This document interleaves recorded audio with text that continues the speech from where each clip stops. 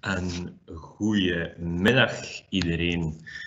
Um, welkom op onze tweewekelijkse webinars. Uh, deze week hebben we er eentje voor het secundair onderwijs geprogrammeerd met een spreker die we nog kennen uh, vanuit het basisonderwijs. En omdat hij bij het basisonderwijs toch wel uh, een goede replieken had gekregen, goede commentaren, Um, dan uh, dachten wij uh, voor het secundair onderwijs gaan we Chris van Engelgem van Good Planet gewoon terugvragen om een sessie te geven rond uh, outdoor education.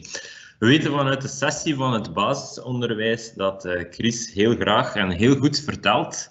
Um, jammer genoeg kan hij geen, net als ja, iedereen, kunnen wij geen fysieke bijscholingen organiseren.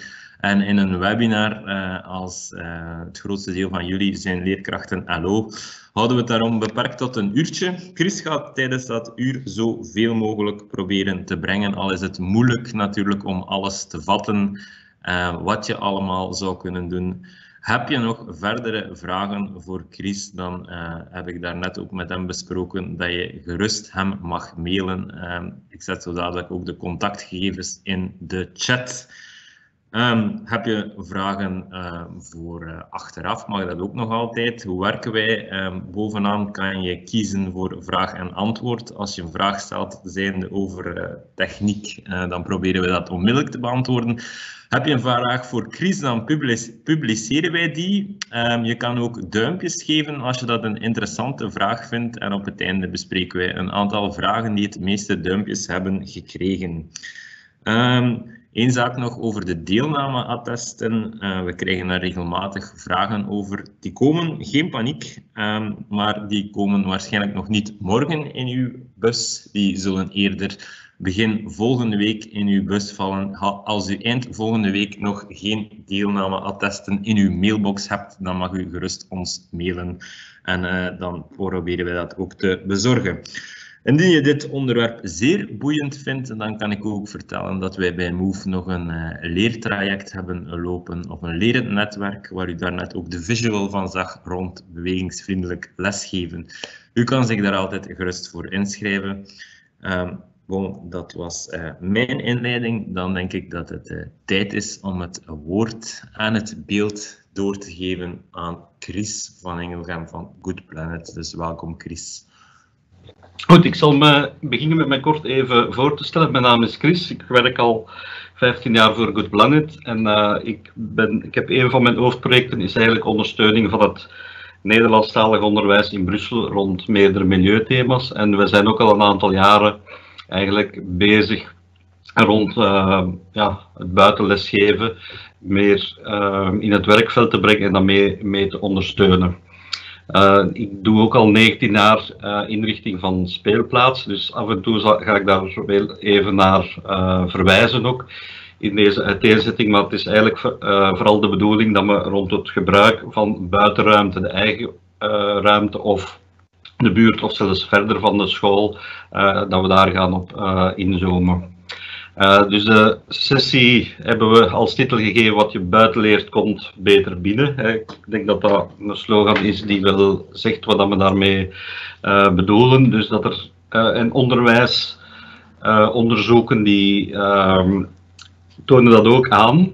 Dus dat er toch wel een impact is op kinderen en jongeren. Dus door dingen die ze echt buiten leren, door dingen te doen.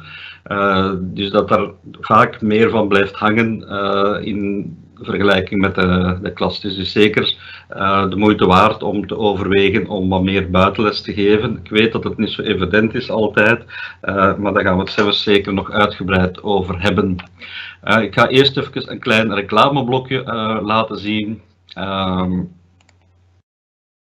en om aan te kondigen dus dat er op 29 april van uh, dit jaar terug een buitenlesdag is. Uh, hoe dat, dat gaat ingevuld worden voor de, de leerlingen die thuisonderwijs volgen, dat zal nog moeten blijken. Uh, maar in ieder geval de leerlingen die aanwezig zijn op de school. Is, daar, daarvoor is het misschien een interessant moment om proberen uh, daarop in te pikken. Dat is een samenwerking tussen Good Planet en MOS. En er is ook heel wat uh, materiaal voorzien waar je kunt uitkiezen om je buitenles uh, mee vorm te geven. Dat komt straks ook nog aan bod. Ehm, op het einde van de presentatie is er een literatuurlijst en wat internetbronnen die je, waar je inspiratie kan vinden. Goed, uh, even de, de inhoud. Je zult zien, het eerste gedeelte zal meer gaan over een, het kader, eigenlijk, uh, visie en, en beleid. Daar gaan we toch even bij stilstaan, omdat het inderdaad niet zo'n evidentie is, gezien de structuur en de manier van werken en de schaal ook van het secundair onderwijs, hè, om uh, dat, dat buitenlesgeven echt goed te kunnen implementeren in, in de werking. En dan gaan we ook eens een keer concreet gaan kijken van, ja, zo lesinhoud buiten geven, wat komt daar uh, bij te kijken. Uh, en dan gaan we, het tweede deel gaan we dan eerder zo eens een keer kijken van oké, okay, hoe kunnen eigenlijk uh, een aantal tips om de collega's mee in dat verhaal te krijgen. zodanig dat je daar niet alleen mee staat. En dan ook wat inspiratie geven rond mogelijke projectthema's die je kan, kan aanhalen um, om de collega's eventueel wat ideetjes te geven of misschien om er zelf uh, ideeën uit te halen rond uh, zaken die vrij eenvoudig um, te realiseren zijn, ook in het secundair onderwijs.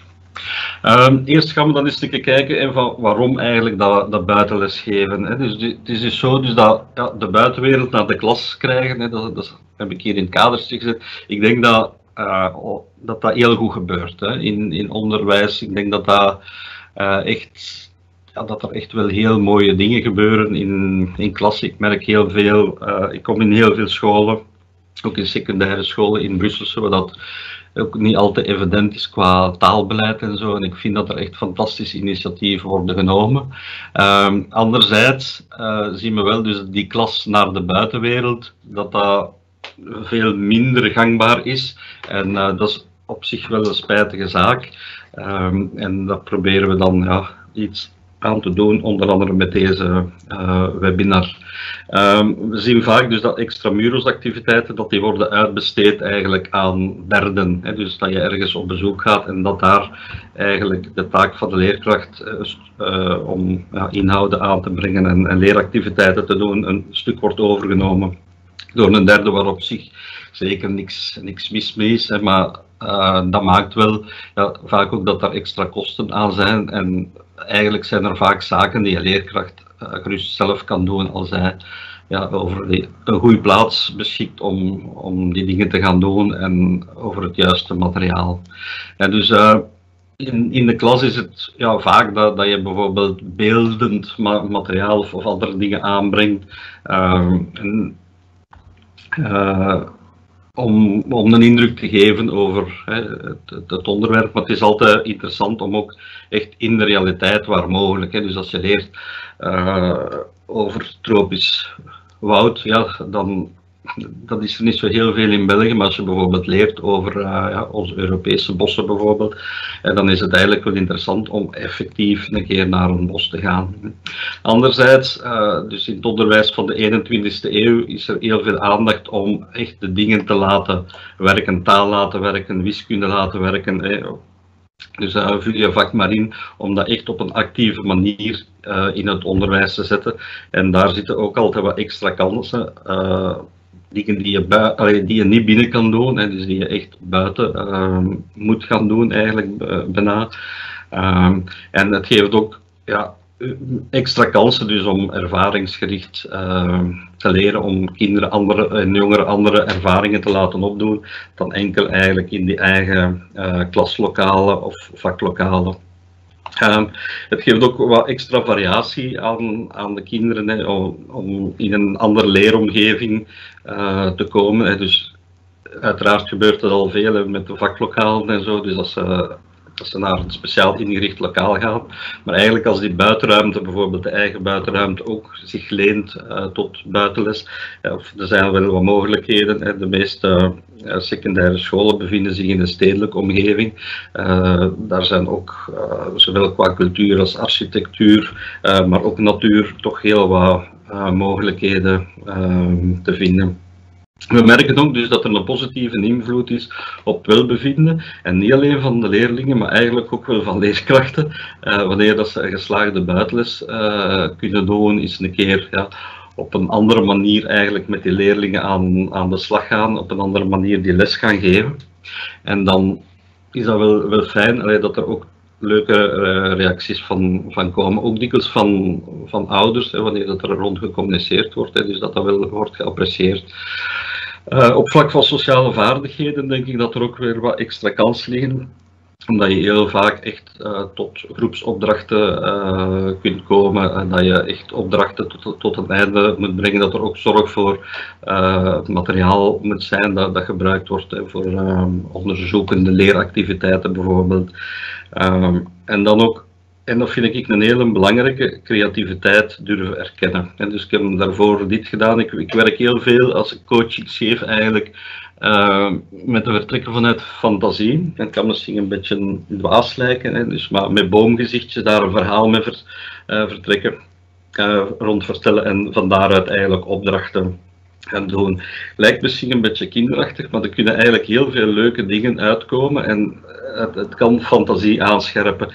En ik merk eigenlijk heel vaak, wanneer dat ik, uh, dat met volwassenen werk, en ik vraag van wie durft te zeggen dat, dat, ik, hè, dat hij of zij creatief is, dat de vingers eigenlijk dikwijls beneden blijven. Mensen uh, durven dan niet zeggen dat ze creatief zijn of ze denken dat, dat, dat ze Bach moeten zijn of, of, uh, of Rubens, uh, grote kunstenaars of zoiets, om, dat te durven zeggen.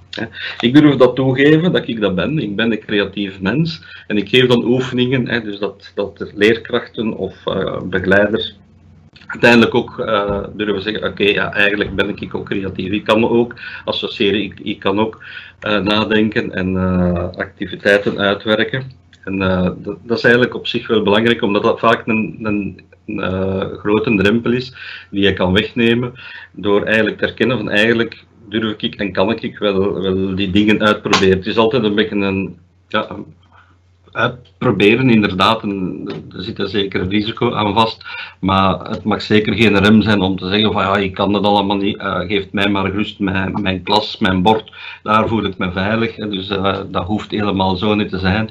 En als je het een paar keer hebt uitgeprobeerd en de smaak te pakken krijgt, dus dan zal je dat ook wel zien dat dat een verschil is. Dan de laatste uh, belangrijk element is buitenlucht, dus nu, met, met, deze situatie weten we allemaal, hè, dus dat we heel veel moeten verluchten. Uh, zijn we op dat vlak een beetje wakker geworden, maar het is eigenlijk al heel lang uh, bewezen dus dat de luchtkwaliteit in de klas, en dat is niet alleen door CO2, maar ook door uitwasemingen van uw meubilair of, uh, uw gordijnen en zo, dat die vaak en eigenlijk in de meeste gevallen veel slechter is dan de buitenlucht, zelfs in de stedelijke omgeving. Dus ook veranderen van lucht en dan zeker uh, naar de buitenlucht, denk ik dat dat, dat een zeer uh, interessant argument is om toch iets meer proberen die buitenles te geven. Dan ga ik even naar het model van Erzot, want wanneer we spreken naar meer buitenles, dan betekent dat eigenlijk op zich ook, dus dat we eigenlijk naar een, een verandering, dat, hoeft geen grote verandering te zijn, dat hoeft ook niet direct voor heel de school, daar kom ik later nog op terug, hè, dus, maar dat zal dan toch wel op de een of andere manier uh, stap voor stap een klein uh, proces in, gang gezet worden om het eens op een andere manier te gaan aanpakken. Hè. Dus in die zin, hè, dus wanneer dat we naar verandering willen streven, is het heel belangrijk dat deze vijf uh, blokjes eigenlijk voldoende aandacht hebben. Hè. Want wanneer dat je daaraan begint zonder visie, als je dat kleinschalig doet, je probeert dingen uit, hè, dan, is er geen man overboord. Maar als je het echt uh, wilt implementeren als een manier van, van aanpak die je echt kansen wil geven in, in die onderwijscultuur, is het heel belangrijk om daar toch eens bij, bij stil te staan. Hè. En dat is niet slecht dan. Je moet geen heel nieuwe pedagogische visie uit, uitwerken. Hè. Dus je gaat eens kijken naar je eigen bestaande pedagogische visie en dan eens een keer gaan kijken. Kijk, zien we daar wat linken uh, in het gebruik van die, die buitenruimte uh, van activiteiten, voor activiteiten uh, ja, in onze aanpakken van bijvoorbeeld ervaringsgericht leren of, of sociale vaardigheden. Hè, dus dat we dat belangrijk vinden in de school of, of bewegende actieve leer, leerlingen. Hè, dan is dat zeker interessant, omdat je daar al heel wat linken hebt, hè, dus naar die kansen die er zijn. Um, om dat buitenleren meer uh, kans te geven. Dus de urgentie en het belang. Hè, uh, je kan zeggen van kijk, het hoeft helemaal niet. Hè, we zijn goed bezig met dingen binnen doen. Dat, dat, kan absoluut een conclusie zijn.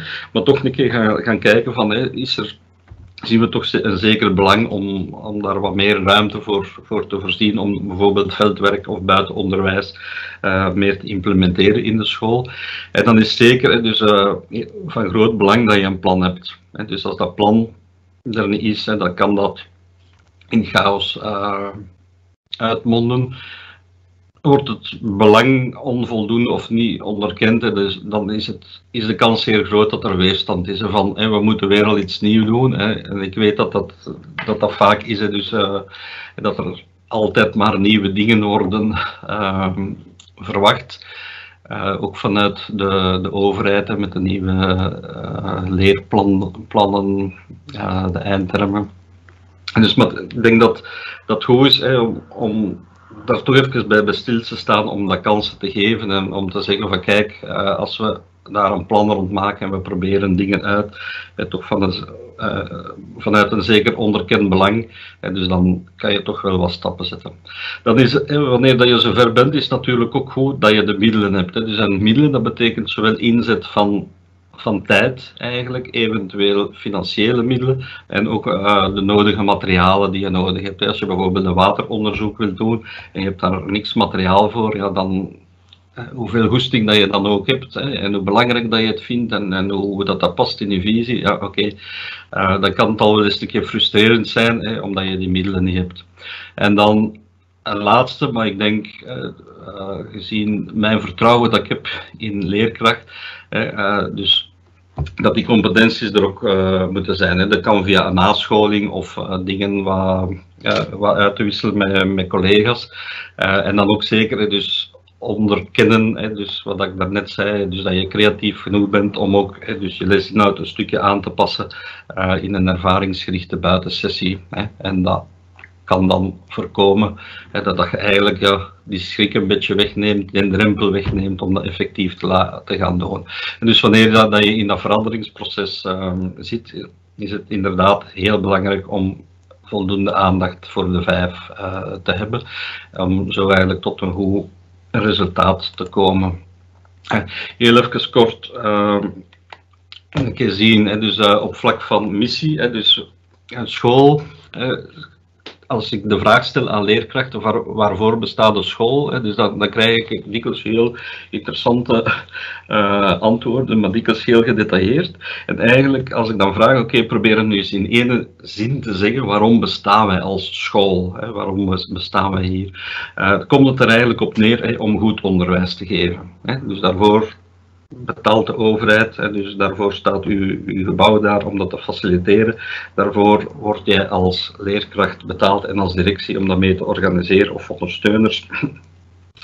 Dus daar gaat het over. Maar dan komt eigenlijk de vraag, hoe zien we dat? Dus dat is eigenlijk wat je, je pedagogische visie, dan heb je eigenlijk de ruimte, beleidsvoerend vermogen, om zelf je eigen accenten te leggen. En daar zou bijvoorbeeld uh, een stuk uh, het belang van buitenles, het belang van de buitenruimte en de omgeving uh, te gebruiken, levens echt leren een plaats kunnen in, in krijgen of krijgen het misschien al. Um, als we dan de volgende stap gaan nemen, moeten we dat dan concreet maken. Hè, dus wat er net als plan werd aangeduid in dat model van ERZOTS. Hè. Dus uh, wat gaan we dan concreet gaan uitvoeren? Hè. Dus welk concreet beleid, dus dat is een stukje management, dus er afspraken zijn hè, en je schoolbeleid vormgeven. En daar wil ik dan graag nu even verder op ingaan, dus met de volgende dia. Um, wanneer dat er een, een, verandering wordt opgezet in, in de school, um, probeer ik eigenlijk altijd scholen te motiveren om, om eigenlijk zo eerst een pilootfase te doen, hè, wat dat dan zeker um, kans is om te evalueren en om eventueel nog te zeggen van kijk, het lukt toch niet, hè, dus uh, dat je je eigen niet, niet vastzet met ik weet niet wat uh, investeringen qua tijd en zo om iets op te zetten, dat dan daarna toch uh, tegenvalt. Hè. Dus het is goed denk ik dat je dan bijvoorbeeld met een klein groepje, dus een beetje wat dat ze noemen de coalition of the willing. Hè, dus mensen dat ze daar wel iets in zien zitten. Of dat je bijvoorbeeld zegt met een bepaalde graad of, of een bepaalde afdeling of zoiets. Of bijvoorbeeld binnen de vrije lesruimte van, van een derde graad. Dus wanneer dat je daar kiest uh, voor projectwerking. Hè, dus kan dat zijn dat je zegt, oké, we gaan dan een keer proberen te doen om daar buiten onderwijs aan, aan te koppelen. Dan is het natuurlijk ook belangrijk dus dat je, wanneer dat je de dingen gaat effectief gaat uitvoeren, dat die goed gefaciliteerd zijn. Hè. Dus een stuk uw, management, dus dat er duidelijk afspraken zijn hè, van wanneer, hoe, uh, dat je buiten gaat, die buitenruimte, uh, dat je die gebruikt, hè, dat dat bijvoorbeeld niet storend is voor, andere klassen, dat er bijvoorbeeld afspraken zijn van ja, als jij daar bent, of wanneer wordt die buitenruimte gebruikt, dat, dat je daar niet ineens staat en dat er al twee andere klassen bezig zijn en dat dat dan storend is voor elkaar. En dus dat soort kleine dingen kan heel wat probleempjes voor, uh, voorkomen. Hè. Dus, uh, dan eventueel aankopen van materiaal uh, kan zijn dus dat er extra opleidingen nodig uh, zijn en uiteraard ook de inrichting van die buitenruimte. Wat dat ook heel belangrijk is, denk ik, en daar kom ik misschien straks nog even op terug, is proberen uitwisselingen, zowel binnen de school als collega's, maar ook eigenlijk schooloverstijgend met andere collega's. We zien al eens een keer dus dat, dat er uh, bijvoorbeeld een studiedag wordt georganiseerd in plaats van dan allemaal in één groep samen te zitten. En dus dat, dat leerkrachten uitzwermen naar collega's, scholen of naar eens een keer te, te gaan kijken van hoe dat ze die dingen aanpakken. En dat is dan interessant. Denk ik, om, om gewoon ja, die goede praktijkvoorbeelden een beetje in, in beeld te krijgen. Of eventueel ook dingen die niet lukken. En daar leer je evenveel van. Dan de rol van uh, specifieke vakleerkrachten afstemmen. En dus zeker wanneer dat je bijvoorbeeld zegt van we willen een volledige voormiddag een, een project wat we een bepaald thema aanpakken uit verschillende hoeken. En dus echt uh, projectmatig samenwerken. Niet altijd zo, zo simpel uh, te organiseren. Dus maar waar dat die mogelijkheid zijn, is dat eigenlijk wel interessant. Je kan bijvoorbeeld ook werken met een doorschuifsysteem. Dus dat je bepaalde thema's. Hè, dus dat je met drie klassen tegelijkertijd buiten gaat en dat je dan eigenlijk uh, doorschuift en in hoekjes eigenlijk een, een aantal opdrachten afwerkt met, met leerlingen. Uh, de leerkracht lichamelijke opvoeding, die kan misschien een interessante rol nemen hè, om de verplaatsingstijd uh, nuttig in, te vullen of bijvoorbeeld bewegingstussendoortjes um, uit te werken en te voorzien. Uh, ze kunnen bijvoorbeeld ook wanneer dat je verder uh, weggaat, kan bijvoorbeeld de, de heenweg, kan dan bijvoorbeeld een, een looples met intervaltraining zijn of, of omgekeerd, hè, wanneer dat je teruggaat naar, naar de school. En op die manier kan je eigenlijk ook die, die verplaatsingstijd dikwijls ehm, ja, heel zinvol gebruiken. Uh, kansen en remmen.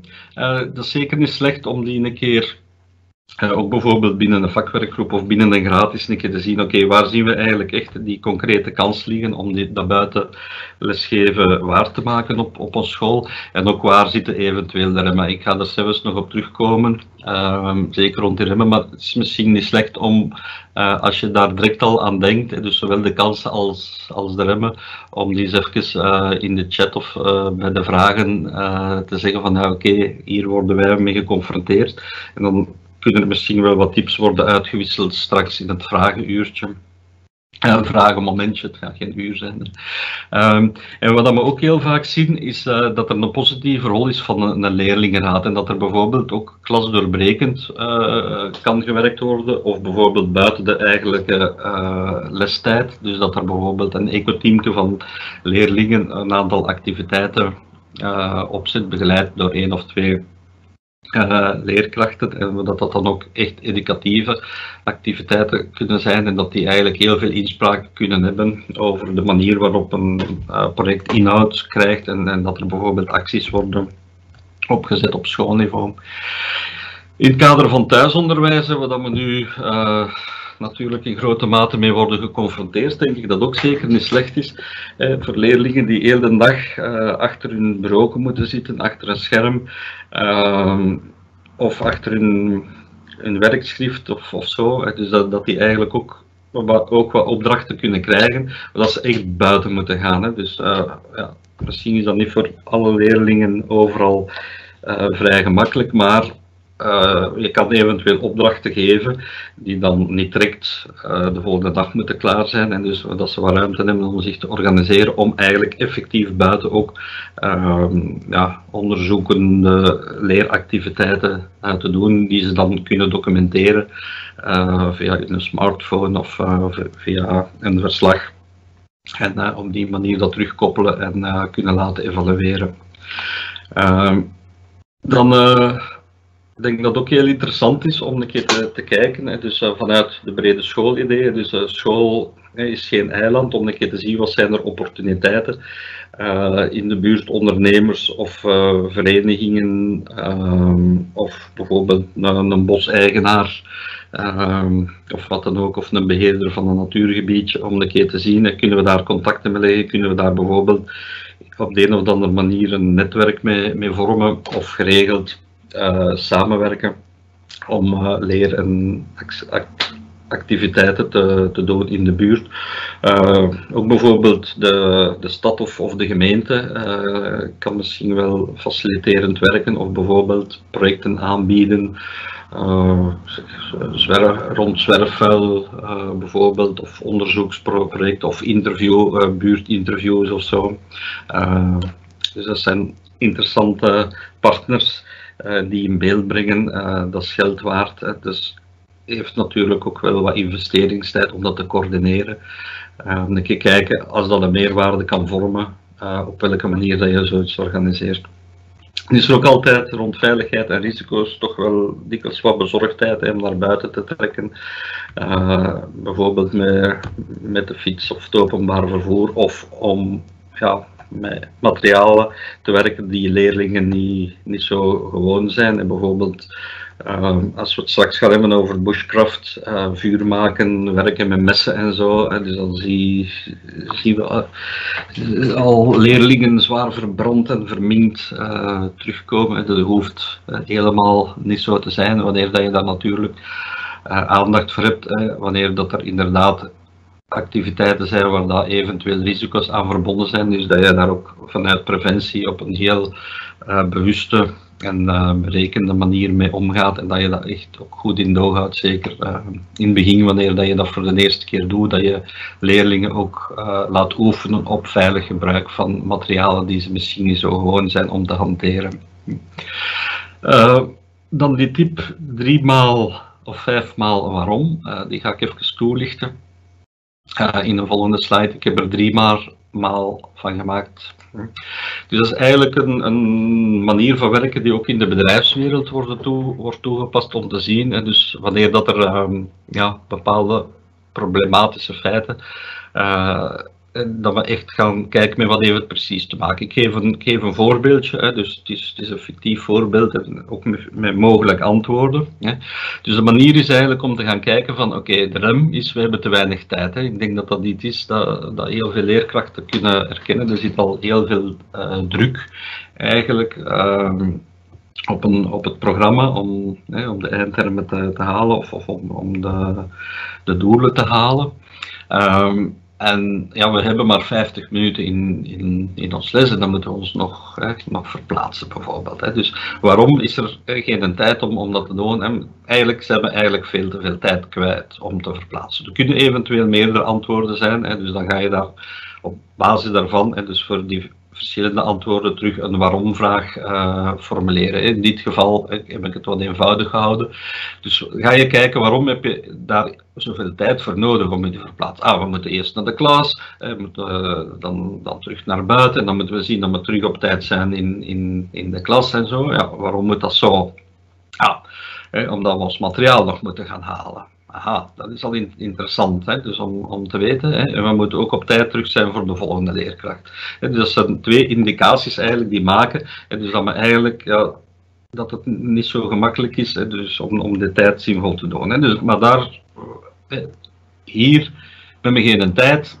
Daar is niet direct een oplossing voor als je niet gaat kijken waarom. Hè? Dus hier zien we eigenlijk al twee fundamentele feitelijke omschrijvingen uh, om te zien. dus dat materiaal hier en naar de volgende leerkracht dus daar rekening mee houden. Dus, maar hier kunnen bijvoorbeeld afspraken gemaakt worden, dus dat de volgende leerkracht bijvoorbeeld ook zijn les een stukje buiten begint. Hè. Dus het hoeft ook niet altijd te zijn dat je een volledige les buiten geeft. Hè. Dus het kan zijn dat je een half uurtje buiten werkt of twintig minuten en dat je dan naverwerking kunt doen in, in de klas. Materiaal zou dan bijvoorbeeld op voorhand uh, klaar uh, gezet kunnen worden of dat de leerlingen weten van kijk, je neemt uh, tegen die les, zorg je ervoor dus dat je je schrijfmateriaal en een notitieblokje mee hebt, hè, als, als, als dat nodig is. Hè. Dus om maar even te zeggen, dus een goede analyse van uh, ja, eventuele remmen maakt dat je gemakkelijker ook naar oplossingen uh, kan gaan zoeken, omdat je weet met wat het precies te maken heeft. Goed. Um, er was me ook gevraagd, hè, dus ja, in, in de winter, hè, dus, uh, zowel voor de leerkracht als, als voor de leerlingen, hè, zeg, de hele tijd buiten in, in dat weer. dus er wordt al eens een keer gezegd, slecht weer bestaat niet. Hè, dus er alleen slechte kleren. Hè, dat klopt, dat is een mooie slogan. En dus, maar als, als het echt, uh, maar dat ze zeggen, oh wijf met klompen aanregent en zo, dan is het toch ook niet zo aangenaam om buiten te zijn. Dus daar moet je wel wat rekening mee houden, dat je dan eventueel ja, toch onder wat, wat beschutting kan, kan hebben. Als het gewoon gaat over koude, is het eigenlijk belangrijk dus dat de leerlingen weten op voorhand van kijk, we gaan buiten. Dus als ze hun, hun kledij wat kunnen aanpassen, liefst in meerdere lagen. Dus dat is ook is, het is slecht om daar wat te experimenteren. Ja, dus ja, is misschien dan iets minder modebewust. Het ziet er wat uh, niet zo elegant uit. Uh, maar het zorgt er wel voor dus dat je geen kou hebt. Eigenlijk de meeste jongeren kunnen eigenlijk wel tegen de kou. Dus er zullen altijd wel wat, wat zijn die gemakkelijker uh, verkleumen. En het is ook zo dus dat dames het iets rapper kou kunnen krijgen dan, dan jongens, maar dat is ook geen algemene regel. Uh, het is ook niet slecht om eventueel wat op te bouwen en dat ze dat kunnen. En dan, ja, als je het echt kou krijgt, hè, dan is er nog altijd een, een truc van boer Frans. Hè, dus gewoon uh, met je handen op je schouderbladen kloppen, een beetje bewegingsactiviteiten doen en zo. En dan stroomt je bloed weer wat en dan kan je er weer wat tegen. Anderzijds is het ook systeemversterkend eigenlijk, hè, dus uh, om te leren omgaan uh, met de kou en we moeten er ook geen kastplantjes van maken. En een beetje gezonde buitenlucht, ook al is die koud, kan absoluut geen kwaad. Eventueel kun je ook zien, dus dat je, ja, je echt buiten bent, dat je wat beschutting opzoekt als er een gure wind is of dat je wat beschutting maakt. En als je ergens een vuurtje kan maken, hè, dus mits de juiste uh, preventieve maatregelen. Hè, dus, uh, en zien dat je ook toestemming hebt om, om dat te doen, kan dat eigenlijk ook uh, wel helpen. En dat kan, kan nog heel gezellig worden ook. dus verder ook werken van, vanuit de seizoenen, dat geeft ook een motivatie om dan te zeggen, oké, dit is interessant om het toch in, in de winter te doen. Goed, dan even nu heel concreet naar dat buitenles geven. Hè, van, om maar even, dus merk de zeven verschillen. Dus een buitenles kan betekenen dat je je les gewoon buiten geeft, zoals binnen. Dus als je een buitenklas hebt, met het bord, je, je banken en... Dus op zich kan dat al gerust een, een interessante meerwaarde hebben. Hè. Dus gewoon die buitenlucht, hè, dus ergens op een ander plekje en een keer zitten in een andere omgeving. Hè. Dus dat kan al heel veel uh, verschil geven. Hè. Dus, maar waar ik het over heb, is eigenlijk vooral uh, ja, echt buitenles geven is niet je gewone les helemaal op dezelfde manier buiten doen. Hè. Uh, dus hier maak je gebruik van de buitenruimte. En dus dat is hier zelfs op een schoolterrein. En dus bijvoorbeeld om een wateronderzoek uh, te doen. Hè. Dus dat, ja, je kan dat water binnenbrengen. Maar dat is natuurlijk iets heel anders dan wanneer dat je echt het biotoop van de poel of de vijver buiten gaat onderzoeken. Ehm, dat vind ik dus een hele belangrijke eigenlijk hier. Dus dat maakt het verschil eigenlijk tussen deze twee dingen. Maak gebruik van de meerwaarde van uw omgeving. Dus dat kunnen gebouwen zijn, uh, dat, dat kan uh, de, de natuur zijn, dat, dat kunnen materialen zijn die te groot zijn uh, om binnen op te stellen in, in een klas. dus dat, dat is eigenlijk voor mij een van de kernzaken om ja, echt gemotiveerd te zijn om buiten uh, te gaan werken, omdat je daar echt uh, voor bepaalde leeractiviteiten een meerwaarde hebt, zeker naar de onderzoekend leren, experimenterend leren, explorerend leren. Uh, hulpmateriaal beperken. Wanneer dat je altijd heel veel extra materiaal nodig hebt, en je moet dat zitten te organiseren en, en mee te sleuren en zo, hè, dus dan bouw je eigenlijk een stuk uh, een rem in. Hè. Probeer het een beetje eenvoudig te houden, zeker in het begin. En dan wat heel interessant is, ik heb misschien daar straks al een beetje aangehaald, dus probeer eerst hè, te zien of, uh, welke kansen dat je eigen terrein of de onmiddellijke schoolomgeving uh, bieden. Hè. Momenteel is het trouwens ook zo, begrijp ik, dus dat extramuros activiteiten sterk beperkt zijn en dus dat je sowieso door de maatregelen zoveel mogelijk op het eigen terrein gaat blijven. En dan is het natuurlijk interessant hè, om te zien van, uh, maar dat is, dat is dan terug een stuk beleid hè, van hoe kunnen we dan misschien didactisch toch nog wel wat meerwaarde uh, aangeven. Uh, het is ook heel belangrijk hè, dus dat naar de leerlingen toe afspraken en, en grenzen aan te geven. Dus in de klas is het heel duidelijk, je blijft in de klas te zeggen dat je, dat je toestemming krijgt om naar buiten te gaan. Ehm, maar anders kan het wel eens een keer zijn dus dat dat zeker in het begin dat leerlingen wat gebruik krijgen van de extra ruimte, hè, letterlijk en figuurlijk, uh, om ja, zich wat te onttrekken uh, aan wat er moet, moet gebeuren. Hè. En dan is het natuurlijk wel belangrijk dus dat leerlingen op voorhand ook weten van kijk, zo en zo gaat het. Dus dat dat duidelijk in de instructie is uh, voor een leraar dat, je begint.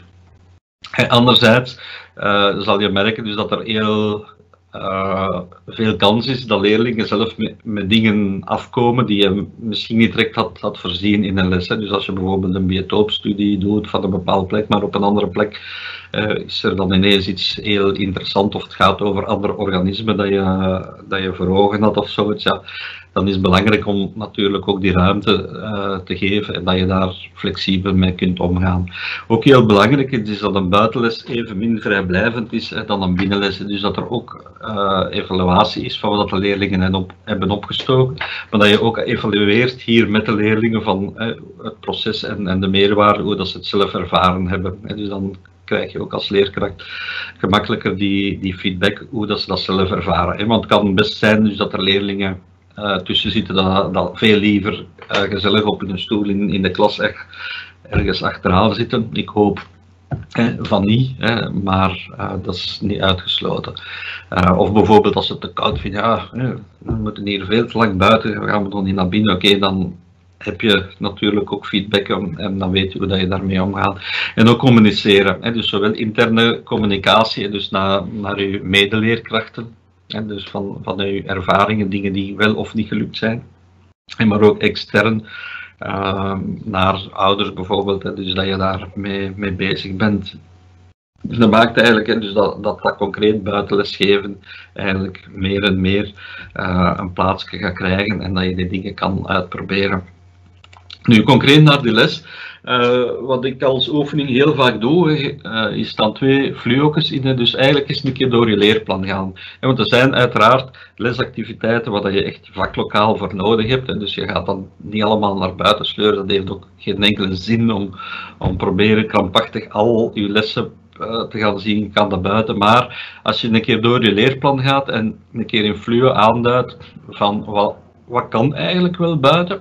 En anderzijds, dus nog belangrijker uh, de dingen in een ander kleurtje uh, wat dat beter buiten kan. Hè. Dus dat, uh, bijvoorbeeld het, het, voorbeeld van architectuur, dat, kun je, dat kun buiten doen. Je kan dat ook binnen doen met foto's werken, maar ik denk dat dat veel beter buiten kan. Hè, wanneer dat je een aantal interessante gebouwen hebt in, in de buurt dat je die gewoon gaat, gaat bekijken en dat je daar ter, ter plekke een aantal leerinstructies geeft aan je leerlingen. En je zal zien hè, dus dat er toch wel, uh, dat is een oefening dat ik geregeld doe, dus dat er toch wel redelijk wat uh, van die kleurtjes zullen verschijnen in uw leerplan. En dan is het uiteraard uh, de volgende stap een keer gaan, gaan, gaan zien welke lesactiviteiten kan ik nu echt gemakkelijk aanpassen naar buiten en zie ik daar effectief ook die didactische meerwaarde om dat hier op eigen terrein of, of in de buurt te gaan doen. En eigenlijk stap 3, eens dat je die ervaring hebt om zo'n aantal van die lesjes of delen van, van lessen op die manier aan te pakken, denk ik dat je vertrokken bent. En het is ook interessant om binnen de vakwerkgroep, dus dat kun je elkaar wat, wat, inspireren en die oefening een keer samen doen en, en daar is een keer samen rond brainstormen uh, of tips geven van ja, hoe, hoe dat jij dat, dat zou, zou aanpakken. Um, en dan kun je elkaar er ook wat in helpen en, en stimuleren om die stappen te zetten. Uh, ik ga hier heel, heel, kort, ik denk dat iedereen het boekje kent of toch zou moeten kennen. Uh, onderwijs voor de 21ste eeuw, heel inspirerend uh, boekje.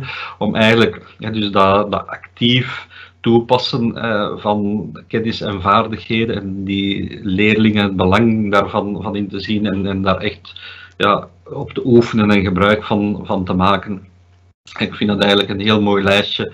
En als ik dan naar kijk, dan zie ik direct heel wat uh, linken met dat buitenles lesgeven, omdat je daar echt ook ja, die actieve werkvormen uh, een stuk gemakkelijker eigenlijk kunt gaan uh, vormgeven. Goed, ik heb nu al het deel 1 achter de rug. Ehm, dus we hebben eigenlijk een stukje gekeken naar kader en hoe dat je eh, een beetje aandacht kunt brengen vanuit een model van Erzot om alle dingen die nodig zijn om tot, verandering te komen, ehm, eigenlijk stap voor stap uh, vorm te geven. En dan gaan we eens een keer kijken. Ik ga hier wat sneller over, overheen gaan, want het is, het is heel veel tekst. Ehm, maar ik heb zo drie uh, gemaakt met wat mogelijke uh, projectthema's. Um, ik ga op een paar dingen ga, ga ik een beetje uh, op ingaan. dingen die ik zelf al wel wat heb uitgeprobeerd met jongeren, dus bushcraft en, ehm, en buitenkoken. Bushcraft is eigenlijk een aanpak dat, dat jongeren zelf eigenlijk met natuurtechnieken en met materiaal dat ze buiten vinden eigenlijk een aantal, ja, we kijken een beetje zo survival technieken aanleren. Dikwijls vinden ze dat heel leuk om zo'n dingen uit te proberen. Um, en dat geeft een hele goede dynamiek en je kan dat op een speelse manier aanbrengen, maar een manier waarop ze daar toch heel veel van kunnen leren en dat er echt uitdaging in zit uh, voor hen om, om die dingen te doen. En je kan dat dan ook uh, echt meer een uitdagingsspel. Ik heb zo'n spel, uh, het virusschema, uitgewerkt. Uh, waar je eigenlijk verschillende opdrachten met verschillende levels, zoals in, in een, uh, in een tv-game of zo'n videospelletje. Uh, en dat spreekt, dat spreekt u wel aan om zo'n dingen te doen. En dat, dat zaten evengoed ja, opdrachten in dat ze bijvoorbeeld bepaalde planten moesten vinden en determineren, bijvoorbeeld om, om een medicijn uh, te maken, als bijvoorbeeld bewegingsuitdagingen, uh, dat ze bijvoorbeeld ja, geïnfecteerd waren door, door een virus, dat ze maar één been of één arm niet meer hadden, dat ze elkaar uh, moesten dan over een hindernissenparcours krijgen, dat zit dan wat meer in, in beweging, maar die dingen zo afwisselen en een aantal vaardigheden. Uh, een keer buiten koken, uh, dat hoort ook, ook daarbij. Uh, kun je eigenlijk op een vrij eenvoudige manier organiseren. En zeker wanneer dat je bijvoorbeeld ook koken in de les hebt, hè, dus om één, één pans of één pot gerechten te maken en zo. Ehm, en de gezelligheid die krijg je er dan gratis bij. Dus heel wat van die zaken kun je eigenlijk ook binnen het kader van STEM of STEAM uh, een plaatsje geven. En kan je bijvoorbeeld met meerdere leerkrachten samenwerken of verschillende, en, met zo'n deel doorschuifsysteem eigenlijk vormgeven in, in een buitenlesdag of halve dag. Uh, ecoteams, ehm, dus ik heb er straks al er even naar, naar verwezen, dus eventueel klasse overstijgend vanuit de leerlingenraad. Het kan interessant zijn om een aantal activiteiten in de eigen buitenruimte uh, uit te voeren. Uh, op Identify, ik weet niet of dat je er al van gehoord hebt, dus dat is maar een erkenningsapp eigenlijk, hè, dat je planten en paddenstoelen en, en een aantal diertjes met vrij hoge kans van zekerheid kunt determineren. En dat kan je ook verbinden met waarnemingen.be. En ik weet bijvoorbeeld de campus van Atheneum Koekelberg, secundair. Dus daar is er zo'n ecoteam. En die hebben eigenlijk al enorm, enorm veel soorten eigenlijk op de eigen campus kunnen identificeren en op waarnemingen kunnen inbrengen. Dus dat wordt samen ook met de leerlingen rondgewerkt. Een tuintje maken of een mini-voedselbosje of uh, wat zaken beheren samen, dat is ook wel leuk. Er zijn ook projecten hè, waar, je, dat je kan als leerling deelnemen aan uh, natuurbeheer in een, in een reservaatje in, in de buurt en dat dan ook, dat dan ook educatief gekaderd is. Dus dat leerlingen ook uh, reservaat beter leren kennen en dat ze ook weten hoe en waarom uh, dat er bepaalde beheerdaden moeten gebeuren. Dus zit dan een beetje natuurlijk in de milieu- en de natuursfeer. Maar ook bijvoorbeeld taal, vanuit taal en zo zijn er wel wat voorbeelden van, van collega, collega's die eigenlijk ehm, ja, echt buiten, en dus niet alleen rond Nederlands, maar ook rond andere talen bezig zijn. Zelfs uh, vanuit Latijn, dus een voorbeeld van nemen in Merksem, dacht ik, uh, of toch een school in Merksem. Dus je gaat die PowerPoint krijgen en dan kan je een keer op die link klikken. Uh, die hebben de Romeinse tuin uitgewerkt, dus met allemaal planten die eigenlijk in oude Romeinse tekst al aan bod komen. wiskunde doen werken, dus de klassieker is hier boomhoogte, uh, meten, maar je kan het ook met gebouwen doen. En als dat in de stad is, kan je eventueel met een digitale afstandsmeter werken, dus dat je niet uh, met een meetlint over een straat moet, moet hangen of zo. En dus, maar dan zie, dat is eigenlijk ook hoe dat je dan effectief bepaalde uh, wiskundige formules kunt toepassen uh, voor concrete toepassingen. Hè. Dus ook bijvoorbeeld ook uh, werken rond, rond schaal of hoeken bepalen of zoiets. Dus dat, dat zijn dingen die, die je dikwijls ook, zeker wanneer dat je over grote volumes of grote oppervlaktes spreekt, dus dat je dat ook buiten kan kan doen, of dat je bijvoorbeeld analyses maakt van hoeveel vrachtwagens komen hier uh, voorbij in een uur. Dat kan je als oplossing geven, ja, als opdracht geven voor thuis bijvoorbeeld, vanuit wiskunde. Uh, en dat ze dan uh, dat, dat dan daarna verwerken in, in een tabel of, of een grafiek bij geschiedenis komen ook weer oude technieken, ook een stukje die, die bushcraft, hè, want uh, de oude vuurtechnieken bijvoorbeeld kunnen daaraan aan bod komen, maar ook bijvoorbeeld ja, uh, oude industriegewassen telen. Uh, en die verwerken, dat zijn mogelijkheden bij voeding. Dus wanneer dat je ergens in, in het curriculum koken en, en omgaan met voeding. Dus denk ik dat het ook altijd heel interessant is om bijvoorbeeld dat buiten tanieren uh, een plekje te geven. Dat hoeft niet, ik weet niet, groot te zijn. Het is niet de bedoeling om al je groenten bijvoorbeeld te kweken, maar bijvoorbeeld een aantal specifieke eetbare gewassen en, en kruiden, specerijen en zo. Uh, en we hebben ook een lijstje gemaakt met wildplukken, dus dingen die je eigenlijk in een sla kan verwerken, uh, zonder dat je dat moet gaan, gaan koken of, of bewerken. En dus eigenlijk uh, voor theetjes, dus eenvoudige dingen van te maken, thee of sla. Zelfs met haartooi kan zijn, dus om een keer echt creatief wild te gaan, en dus om natuurkapsels te maken en met verwerken van natuurmateriaal uit de omgeving en daar dan een show rondmaken of bijvoorbeeld zelf natuurproducten maken. Dus met, kruiden uit de tuin en uh, daar zelf uh, shampoos mee te maken. nog eentje, zelf spel ontwikkelen. dat zijn dingen die op zich wel gemakkelijk kunnen op die buitenruimte. Eventueel als je een campus deelt met een basisonderwijs, dus kan je zelfs dingen inrichten voor, voor de kleuters of, of de lagere uh, school. Dingen die je dan eventueel deelt of, die je samen kan gebruiken. En je kan de leerlingen betrekken bij, bij het ontwerp daarvan. Je kan echt een parcours uitwerken. Je kan werken met losse materialen en die gebruiken bij bewegingsspel. Volksspelen vind ik zelf ook altijd heel interessant. Hè. Uh, dingen rond oog, hand, uh, coördinatie, dikwijls bol- en, en werpspelen of slingerspelen. Tussen strategische spelen, omdat ze daar dan ook een stuk ja, moeten samenwerken en, en aandenken. Um, MoveNet, uh, dat is iets dat je zelf best eens een keer gaat opzoeken. Uh, ik heb het in de literatuurlijst uh, gezet. Dus er zijn een paar, paar basisbewegingen waar je mee kan vertrekken.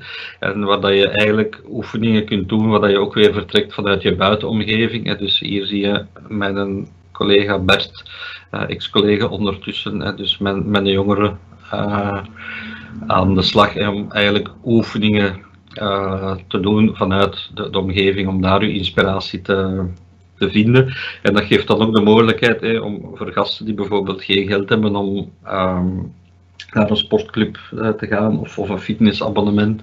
Uh, dus dat die bijvoorbeeld samen gaan sporten in, in een omgeving en eigenlijk die dingen zelf gebruiken om interessante oefeningen te gaan doen.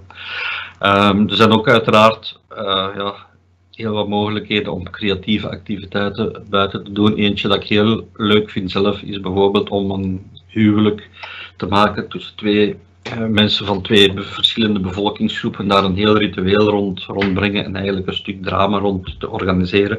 Ook weer gebruikmakend en met de materialen en, en de, de inrichting van, van de plek waar je je bevindt. Goed, ik ga naar de volgende dia en kijk ondertussen eens een keer naar de tijd. Dus, uh, ik had er net gezegd van dingen, uh, ja, constructies te maken. Dus bijvoorbeeld een wielgebouwsel, ik heb er hier nog een leuke bij. Dus om een levende goal uh, te maken. Dus dat, zijn bijvoorbeeld zaken en we dat toch wel heel wat vaardigheden en ontwerpmogelijkheden uh, aan te pas komen uh, om zoiets uit te werken. En dus, Voilà, dan die leercyclus van Koop, de Kolop, uh, mogelijk is dat bekend, ik heb dat erin gezet uh, voor degenen die dat nog niet kennen. Op internet vind je daar wat meer uh, plaats in. Maar de reden waarom dat ik het erin gezet heb, omdat vaak wordt al eens gezegd, ja, ervaringsleren. Hè, laten de, als we de kinderen gewoon vanuit hun uh, laten doen en, en ervaar het maar. Hè. Is dat dan nog leren of wat is de rol van, van de leerkracht? dus het blijft altijd belangrijk om om eigenlijk ook die buitenleeractiviteiten, ook al laat je heel veel uh, zelf uitzoeken door leerkrachten, om dat goed te omkaderen. En dan is dat, die leercyclus van, van Kolop wel heel interessant om in het achterhoofd te houden. En dus waar nodig moet er dan kennis worden ingebracht of vaardigheden geoefend. En dan eigenlijk uh, vanuit die concrete ervaring eigenlijk verder opbouwen uh, naar uh, concepten en experimenteel leren. Um, tussendoortjes zijn denk ik ook altijd heel, heel belangrijk, zeker ook bij, bij verplaatsingen. Hè. Dus dat actieve verplaatsingen, soms wat kleine opdrachten om een beetje afwisseling te brengen. Of dat er bijvoorbeeld een rode draad is. Snelspel, uh, dat doe ik bijvoorbeeld om, om eens een keer een extra uitdaging, dat ze bijvoorbeeld um, een extra tip kunnen krijgen of extra materiaal en dus dat er even iets anders tussendoor komt. Dat kan bijvoorbeeld zijn gewoon een fles zetten en daar uh, op, van op een bepaalde afstand mee een keitje in. Dus de eerste dat dat lukt, oké, okay, maak dan iets vrij. De volgende stap om dat speelse er wat in te brengen. Ook uh, heel veel afwisselingen tussen actief en rustige uh, activiteiten, individuele op activiteiten en, en, groepsactiviteiten. En dus zowel kennis als, als vaardigheden. Um, aan bod laat, laten komen. Ik denk dat dat eigenlijk, ja, het zijn misschien soms vrij evidente dingen, uh, maar het zou kunnen, dus dat, dat je zegt, oké, okay, maar laat ze vooral dingen uitproberen, maar ik denk dat het ook goed is om, dat ze echt kennis op, opdoen, hè, dus door exploreren en experimenteren, dat ze nieuwe dingen leren kennen en, en, en benoemen. Uh, zo, dan dat dat is een uh, inspiratieschema eigenlijk dat we met Pimpje Speelplaats hebben uitgewerkt. Ik geef het hier nog een keer mee. Je kan het terugvinden ook op de website van Pimpje Speelplaats. En het geeft eigenlijk zo'n beetje uh, aan van op welke manier, dus dat je eigenlijk je buitenruimte, hè, in functie van welbevinden op dat, die speelplaats, maar ook zeker hè, rond uh, speelactiviteiten en leeractiviteiten, hoe je dat, dat vorm kan geven um, en wat inspiratie geven. Oké, ik ben stilletjes aan rond, hè, dus wat ik nog even wil meegeven om te eindigen is van keep it simple and stupid. En dus uh, maak het in het begin zeker niet te moeilijk en niet te veel materiaal en niet te hoge drempels. Uh, het hoeven niet grootse projecten zijn. Hij probeert eigenlijk op een, op een haalbare manier. Hè, dus dat je zelf die drempel voor je um, laag genoeg houdt eigenlijk. Ehm, en aan de slag te gaan. Dat geeft de meeste kans om het zowel voor jezelf als, als op niveau van een graad of, of op schoolniveau eigenlijk um, kansen te geven. En dan kan je al eens een keer iets groter opbouwen, eerst dat je wat meer ervaring hebt kunnen opbouwen. Uh, en dat die samenwerking en, dat kader um, om die buitenles te geven wat meer plaats heeft binnen de schoolcultuur. Ik heb je beloofd dus om ook wat, wat hulpmateriaal um, aan te geven. dus je gaat zeker nog meer materiaal vinden. Een aantal zaken zijn wel in het Engels, omdat ze daar een stuk verder staan uh, dan uh, in Nederland, dus Scandinavië. En de Anglo-Saxische landen hebben al heel wat meer stappen en ervaring gezet dan wij hier. Voilà. En dan uh, nog een aantal sites waar je nog wat inspiratie kan vinden rond binnen- of buitenruimte. Dan hebben we nu nog wat tijd om wat dingen uit te wisselen. Um, dan ga ik hier mijn voorstelling beëindigen. Uh, ja, um, voorlopig zeg ik nu nog niet meteen uh, vragen binnenkomen in de chat, maar ja, stel ze gerust in de chat of laat het misschien eventjes bezinken. Um, we weten misschien dat we een publiek hebben van leerkrachten lichamelijke opvoeding, die nu vooral uh, buiten moeten lesgeven, dus die uh, misschien uh, een beetje moeten schakelen. Um, dus laat gerust weten of dat jullie dat zien zitten, of dat jullie daar nog verdere vragen, slash ideeën, slash aanvullingen, slash bedenkingen over hebben. Um, we hebben nog eventjes de tijd.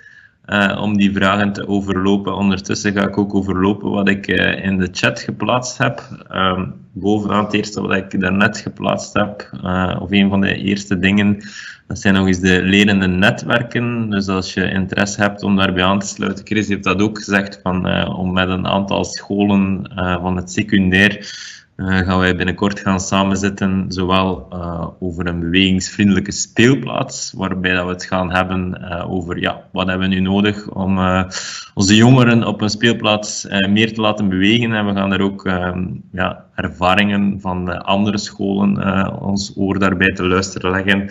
En af en toe, uh, als dat nodig blijkt te zijn of als die nood er vanuit de groep komt, gaan wij experts zoals Chris of andere mensen die daar mee bezig zijn, organisaties, gaan we die zeker vragen. Er staat ook een evaluatieformulier in de chat. Um, vul dat zeker in op die manier uh, blijven wij ook weten wat er bij jullie leeft. Uh, en dan heb ik nog um, twee uh, inspiraties van onszelf ook geplaatst. Dat zijn onze Move Challenges die je, dat je met je school kan afwerken. En we beseffen ook dat, je, dat we nog steeds in het afstandsonderwijs zitten, in het secundair, week om week. Dus dat er ook nog um, ja, veel van thuis uit moet gewerkt worden. In de eerste lockdown waren er al een aantal heel goede voorbeelden van scholen die we ook hebben opgelijst in de Move in uw kot um, actie. Dus vandaar dat staat ook nog in onze um, ja, in onze uh, chat gepubliceerd. Goed. Um, ik zie er toch nog een aantal vragen binnenkomen, dus ik ga nog eens naar Chris gaan. Een vraag van uh, David of David. Bushcraft op school, kan dat? Wordt het al gedaan? Tips lijkt me wel leuk. Uh, dat kan zeker. Uh, dus van bushcraft dat gaat eigenlijk vrij, breed eigenlijk. Dus er zijn de laatste jaren een paar goede boeken verschenen in het Nederlands, waar dat je eigenlijk een aantal basistechnieken Um, bijvoorbeeld rond shelter bouwen, rond uh, zelf touw maken, um, houten lepeltjes of houten kommetjes maken bijvoorbeeld, handbogen maken. Um, er was ook een van die foto's, uh, tekeningen eigenlijk, bij, bij de projecten dat ik niet toegelicht heb. Maar dat is eigenlijk ook een, een hele leuke. Um, is uh, met de werpspeer, dus maar dan met een, verlengstuk werken. Hè. Dus uh, je zult gezien, je moet dat maar een keer opzoeken. Dus assegaai, dat is eigenlijk een lichte werpspeer, waar je dan met een, een latteke, waar dat een haak op zit, eigenlijk achteraan in haakt om zo uw werpbeweging eigenlijk um, te verlengen en zo naar doel. Hè, dus dat soort op, opdrachten. En dan uiteraard ook, dus wildpluk uh, past daar ook in. Um, en dan uh, vuurtechnieken, dus zowel met slagijzer en, en vuursteen. Alleen met magnesiumstick en zo is, het gemakkelijkste. Dus, en dus uh, dat is uh, de vlotter succes. Maar bijvoorbeeld ook met de vuurboog. Dus dat kun je eigenlijk zelf laten maken door leerlingen en daar laten op, op oefenen. En dus dat is een mooie uitdaging. En lukt het niet uh, op de school, oké, dan kunnen ze thuis verder oefenen. Natuurlijk moet leerkracht het zelf ook eerst kunnen. Hè. Ik heb zelf een halve dag moeten oefenen, is het uiteindelijk gelukt. Maar je vindt bijvoorbeeld ook op YouTube uh, heel wat goede instructiefilmpjes rond verschillende uh, bushcraft technieken. Dat is zeker mogelijk. Um, maar uh, bijvoorbeeld rond dat vuur maken, zeker als je het iets groter doet en dat je gaat buiten koken, is natuurlijk wel goed om een keer te zien welke afspraken dat je maakt, ook binnen de school. Um, en dat je dat ook omkadert naar veiligheid. En zeker ook bij mesgebruik. Hè, dus uh, dat je goed, goed oplet voordat je nog maar een leerling een mes in de handen geeft. Hè, dus dat je dat op een heel goede manier aanpakt. Dus dat ga je ook opvinden op uh, internet, veilig mesgebruik. Print dat heel goed in je hoofd hè, voordat je dat geeft. Dat je ook leert hoe dat je een mes veilig doorgeeft aan elkaar. dus dat soort dingen. Maar het kan zeker. Dank u wel. Uh, ze zeggen ook dat er uh, nog inspiratie te vinden is op buitenlesdag.be. Ik denk dat je er misschien ook nog wat meer uh, informatie over kan geven. Of is dat ook van jullie nog? Ja, dus dat is eigenlijk een samenwerking tussen Good Planet en Mos Vlaanderen. En op die website heeft Bos eigenlijk heel wat tips. Uh, dus dat is, onderverdeeld basisonderwijs, secundair onderwijs, en dus van buitenlessen. Zijn er ook wel een, een aantal concrete zaken die uh, van een Engelse website komt. Ik weet niet. Think Learning Through Landscapes of zo, of toch een van die belangrijke websites. Je kan ook opleidingen volgen rond oud door in de Brusselse Outdoor School. Dat heb ik er nu niet tussen gezet, maar ik zal dat er nog bijvoegen, nu dat ik daaraan denk, voordat ik de PowerPoint doorstuur. Uh, en ja, de bedoeling van die buitenlesdag is eigenlijk eh, om over heel Vlaanderen zoveel mogelijk scholen op die dag naar buiten te krijgen en daar echt zo'n campagnemoment van te maken en de mensen echt de kans geven om dan eens een keer uh, mee, te, mee te laten ervaren en ook uiteraard de leerlingen. Eh, uh, om dat te doen. Maar je vindt daar inderdaad heel wat, wat materiaal uh, rond. En ook uh, in de literatuur of, bij de website zie je ook dus dat er dat MOS vorig jaar of twee jaar geleden ook een, een heel brochure heeft uitgewerkt, waar dat ook wel wat voorbeelden van collega's scholen in staan en waar dat ook een beetje een kader wordt geboden rond, die, rond dat buitenlesgeven. Dank u wel. Uh, dat was het denk ik uh, voorlopig voor de vragen, tenzij dat er nog uh, een aantal vragen zouden bijkomen. Ehm, ik dank Chris. ik dank ook de mensen achter de schermen, waarvan nu Tristan op de voorgrond is verschenen. En ik dank ook Brecht, ehm, die deze sessie mede mogelijk gemaakt heeft. Um, wij zien jullie graag terug op een van onze volgende online inspiratiesessies. Volgende week is het, of binnen twee weken liever, gaan wij een, uh, ja, een ander niveau behandelen, namelijk uh, wij gaan de doelgroep kleuters eens bekijken, sedentair gedrag. En dan komt er ook nog een gesprek kortelings met uh, Lieven Annemans. En dan na de paasvakantie staan er een aantal inspirerende voorbeelden van scholen ook op het programma om te kijken hoe dat zijn bewegingsbeleid hebben aangepakt. Um, dus uh, ik ga nog eens kijken. Er is nog één uh, ja, vraag, en dat is misschien wel een heel belangrijke vraag, een vraag die toch wel veel gesteld wordt. Heeft u tips om vakleerkrachten te motiveren naar buiten te trekken? Ze zijn vaak heel erg gebonden aan een vertrouwde omgeving. We zijn momenteel aan het bouwen aan regelmatige onderbrekingen van het zittend gedrag, maar dat is niet gemakkelijk om te motiveren slash verkopen naar collega's toe. Ja, Ja, ik denk in, in het eerste deel van, van de presentatie, dat was eigenlijk de bedoeling om daar hè, wat, aanknopingspunten te geven. Ik denk dat het goed is om, om die dingen nog eens een keer uh, op gemakje terug te, te bekijken. En ik denk, in, je gaat niet iedereen kunnen overtuigen, hè, dus dat, dat, dat mogen we vergeten. maar ik denk bijvoorbeeld via de vakwerkgroepen echt eens een keer gaan die oefening doen van hè, wat, kun, wat kun je beter buiten. En als je daar voelt van dat er toch misschien wel wat opening is, hè, dan, dan geeft dat wel, uh, wel kansen. Of individuele leerkrachten, wat ik een beetje zei, straks de coalition of the willing, een keer uitzoeken van mensen die er wel voor openstaan uh, ik denk dat de pedagogische directie daar toch ook wel uh, een rol kan, kan in spelen. Maar je moet eigenlijk echt die meerwaarde kunnen zien. Uh, of eventueel eens een keer proberen een analyse te maken, wat ik daar straks ook uh, heb, heb aan, aangeraakt. Zo van waar zie je echt opportuniteiten, waar zie je echt kansen ehm, om die buitenles te, te gaan doen. En wat zijn dan effectief die remmen die maken ehm, ja, dat het toch moeilijk is als individuele leerkracht of, of als school om, om dat uh, te gaan organiseren. Maar ik denk dat dat, dat, dat uh, zaken zijn een beetje aan analyseren van hoe dat, dat nu gebeurt en welke, ja, welke mogelijkheden dat er, dat er echt zijn en of wat dat maakt dat, dat het ja, toch moeilijk blijft of dat, dat er ja, weerstanden zijn of, of uh, dat leerkrachten ja, blijven vasthouden aan, aan dat bord. Hè. Dat, dat kunnen heel goede uh, redenen zijn. Hè. Dat, dat, dat kun je moeilijk zeggen. Maar door het bespreekbaar te maken, denk ik, eh, ja, dat is altijd een eerste stap. En dan zien, als er mensen zijn daar ja, dat mee op de kast springen, dan, dan kan je vertrekken.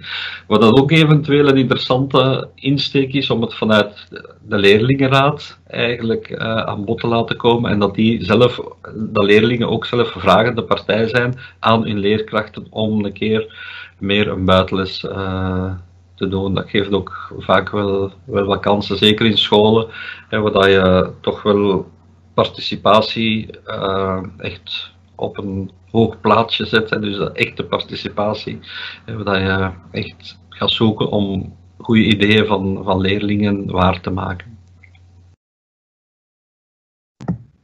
Dank u wel. Uh, ik denk dat dat de laatste vraag is ook die binnengekomen is. Uh, dan uh, dank ik u nog eens hartelijk. ik dank iedereen die kijkt of die nog aan het kijken is. En nodig u zeker uit om het evaluatieformulier in te vullen. En dan zie ik jullie graag terug op een van onze volgende online inspiratiesessies. Dank u wel en tot de volgende keer.